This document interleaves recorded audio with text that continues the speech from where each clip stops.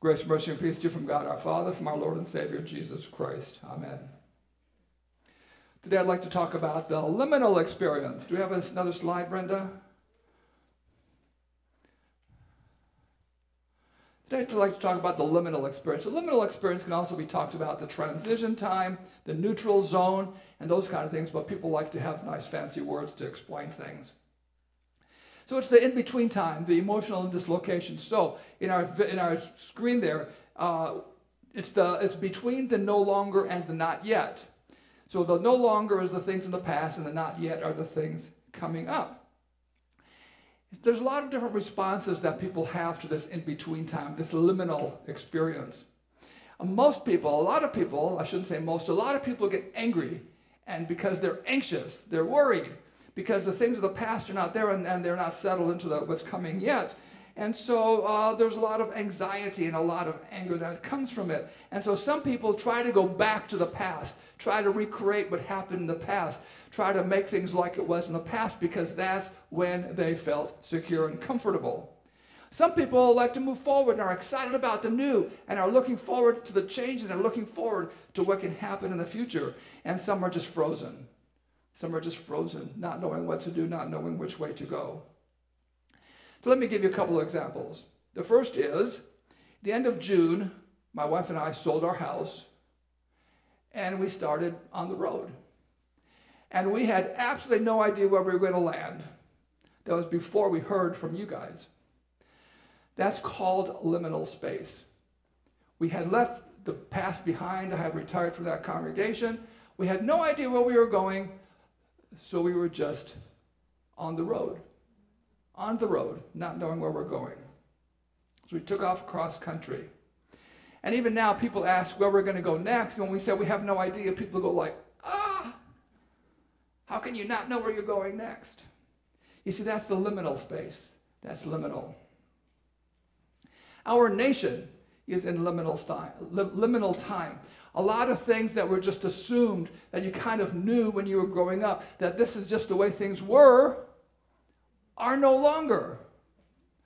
We have not yet come to a place where we as a culture, we as a nation, we as have settled onto something. And so as a nation, we're in liminal space, liminal time, liminal experience. And so you see the anxiety, you see the fear, you see the anger, because we're in this in-between space, this in-between time. And so the next slide, and so the next slide is like that. You've let go of your security, and you're flying through space, and hopefully you'll get caught on the other side. Liminal space, liminal time, liminal experience. We don't know how this is all going to end up. And the reason I talk about that is because in our reading today, that's where the disciples were. That's where the disciples were.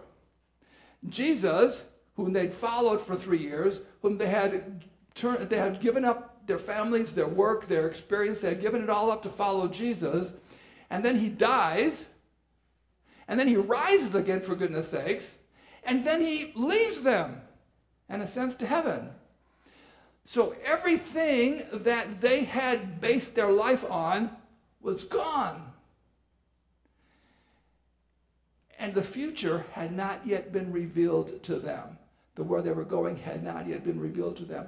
So here they are in their liminal time, in their liminal space, in their liminal experience between the resurrection and Pentecost.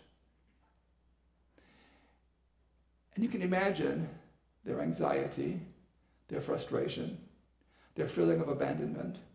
You can imagine all those feelings going on. Jesus didn't instruct them to do anything except to wait. God gives us liminal times for a, for, for a purpose. These are times of transition, times of change. Allow us to let go of the past, allow us to trust Him, and allow us to move forward toward the future to be ready for the next thing that God has in store for us. It's true into our personal lives. We experience these things personally, but we also experience these things corporately or as a nation. In our liminal time, we see in our reading Acts today, there are some things that happened. First off, they are told to wait. They are told to wait. Now I'm going to go back to Luke 24 for this. Then he opened their minds so they could understand the scriptures. He told them, This is what is written The Messiah will suffer and rise from the dead on the third day, and repentance for the forgiveness of sins will be preached in his name to all nations, beginning at Jerusalem. You are witnesses of these things. I am going to send you what my Father has promised. But stay in the city until you have been clothed with power from on high. When he had led them out to the vicinity of Bethany, he lifted up his hands and blessed them. While he was blessing them, he left them and was taken up into heaven. Then they worshipped him and returned to Jerusalem with great joy, and they stayed continually at the temple, praising God. Notice what he says, but stay in the city until you have been clothed with power up on high. In other words, he's saying, stay, wait. One of the hardest things to do in life is to wait right? Waiting is very difficult for us. And yet, that's what Jesus told the disciples wait, stay. And that's hard. That's hard. Second thing they did was they prayed. Then the apostles returned to Jerusalem from the mount called Olivet, which is near Jerusalem, a Sabbath day's journey away. And when they had entered, they went up to the upper room where they were staying. All these, with one accord, were devoting themselves to prayer, together with the women and Mary, the mother of Jesus, and his brothers. So while they were waiting, they were praying. Prayer.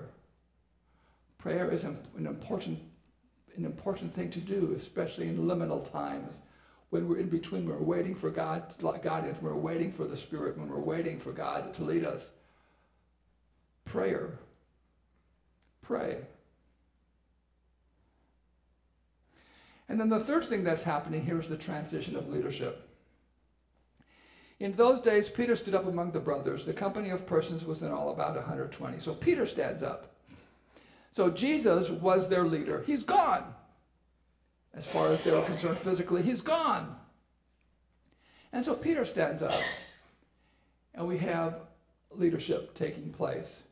And then he says, okay, wait, Judas is gone. Judas Iscariot is gone. We know what happened to him. Pretty gruesome.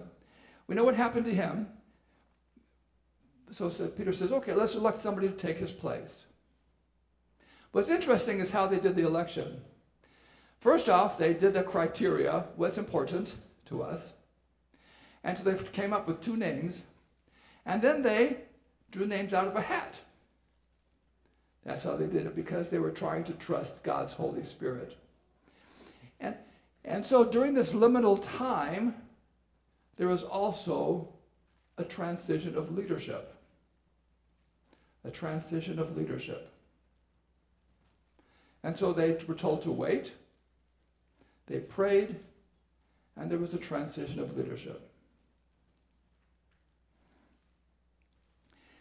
Fountain of Life is in a liminal place right now, if you haven't figured it out.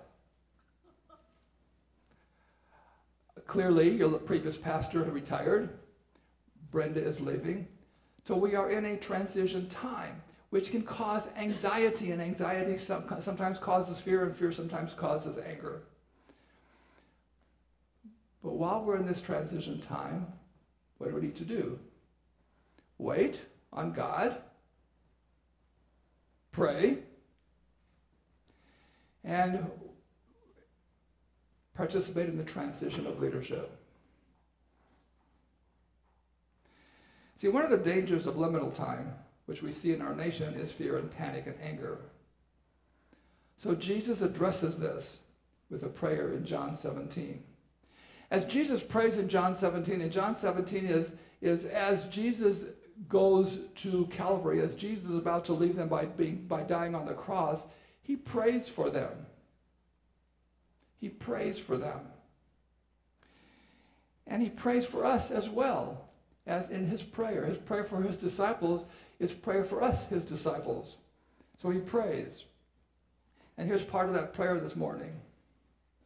Now they know that everything that you have given me is from you. For I have given them the words that you gave me, and they have received them, and have come to know in truth that I came from you. And they have believed that you sent me. I am praying for them.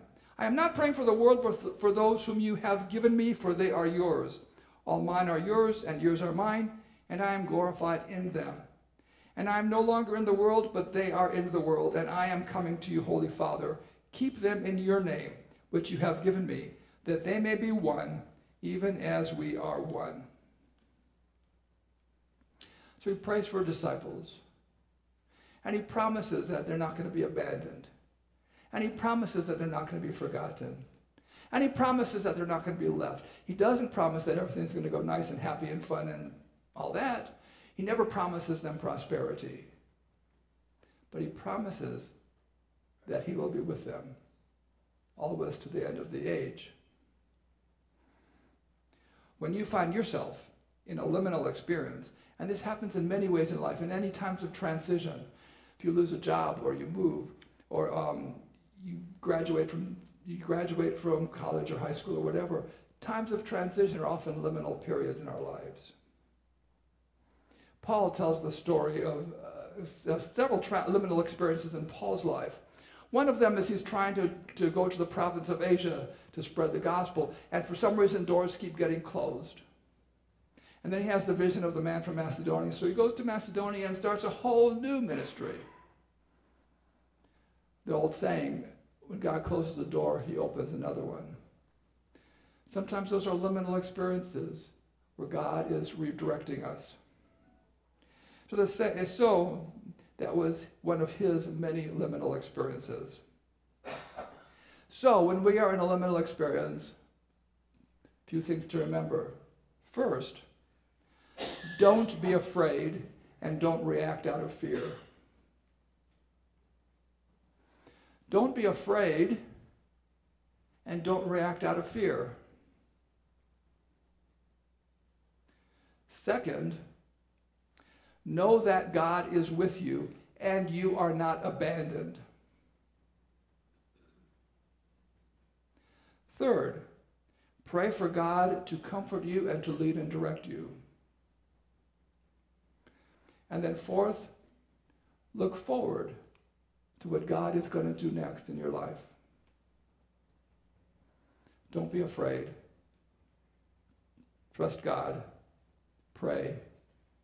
And then look forward to what God's going to do next. This can be in your life personally, or it can be in our life together, corporately. Please stand for prayer.